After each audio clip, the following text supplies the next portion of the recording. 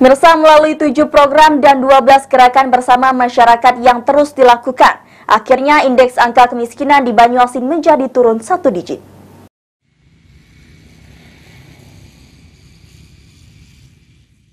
Sepanjang berdirinya Kabupaten Banyuasin, baru kali ini pemerintah Kabupaten Banyuasin bisa menurunkan angka kemiskinan menjadi satu digit. Hal ini diungkapkan oleh Sekda Banyuasin Haji Erwin Ibrahim pada tahun 2021 yang dilaporkan pada tahun 2022. Indeks angka kemiskinan Banyuasin 10 persen. Melalui tujuh program dan 12 gerakan bersama masyarakat yang terus dilakukan secara masif, akhirnya angka kemiskinan di tahun 2022 mengalami penurunan menjadi 9,58 persen yang dilaporkan pada tahun 2023.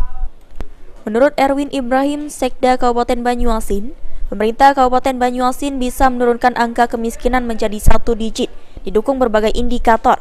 Pastinya keberhasilan pemerintah Kabupaten Banyuasin berhasil menurunkan angka kemiskinan menjadi satu digit merupakan kerja keras selama lima tahun di masa kepemimpinan Bupati Askolani dan Wakil Bupati Slamet Somosentono. Keberhasilan menurunkan angka kemiskinan ini pastinya ada program langsung menyentuh masyarakat.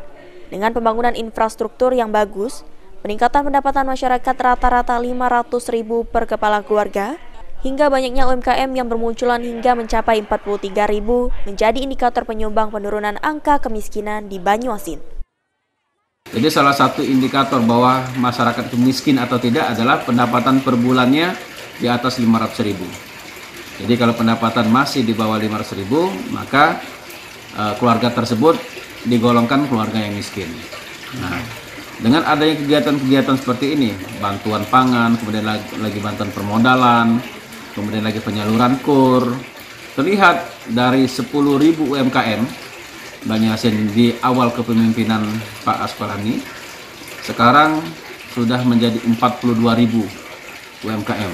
Ini menunjukkan bahwa masyarakat kita sudah menjadi masyarakat yang entrepreneur, yang selama ini tidak ada pekerjaan, menganggur, pendapatan di bawah 500 ribu, sudah menjadi masyarakat yang mandiri, berwirausaha. Nah ini salah satu faktor penyebab angka kemiskinan kita menjadi turun.